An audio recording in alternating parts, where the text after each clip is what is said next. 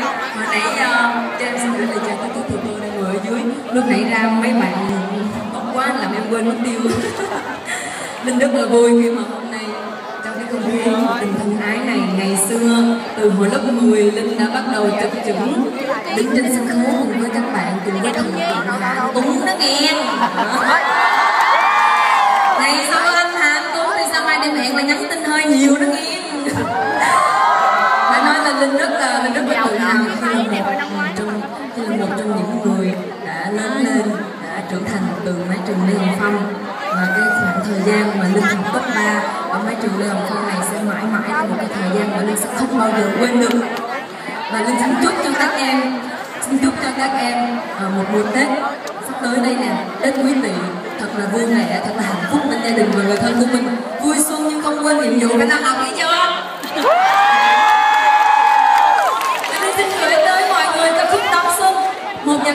Linh xin gửi tới mọi người ca